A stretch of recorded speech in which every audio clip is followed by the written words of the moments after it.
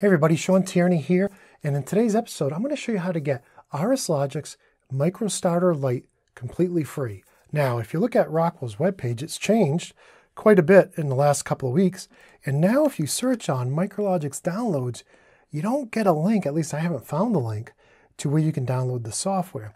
And uh, if you go over to like the MicroLogix 1100 page, you can see on the resources, there's no link there. On the software, they want you to buy RS Logix 500, which starts at over a thousand bucks. So um, let me show you how to get to it now that their webpage has changed and they don't have any links to it.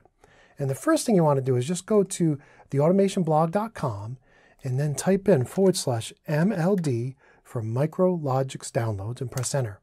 And that'll take you directly to the Rockwell page that has RSLogix MicroStarter Lite, the download, and then don't forget to get RSLinx too. You need that. And that software is completely free. And in the next episode of the Automation Minute, I'll show you how to go ahead and get this RSLogix Simulate because that's given a lot of people problems.